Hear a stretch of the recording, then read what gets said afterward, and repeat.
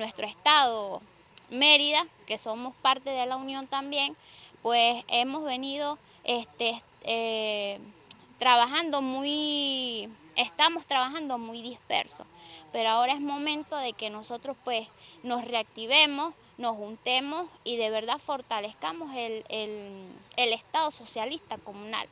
Y es ahí donde nosotros pues estamos marcando una pauta, pues no somos arrodillados a ninguna institución, no somos arrodillados ante algún personaje, nosotros nos debemos a nuestra misma gente. Las tomas de decisiones las toman los comuneros.